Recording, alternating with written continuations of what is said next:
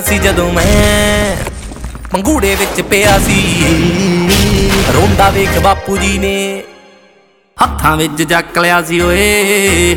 ਜੰਮਿਆ ਜਿੱਦਣ ਤੂੰ ਮਹੀਨੇ ਹੁੰਦੇ ਗਏ, ਯਾਰ ਹੋਣੀ ਥੋੜੇ ਜਿਹੇ ਕਮੀਨੇ ਹੁੰਦੇ ਗਏ।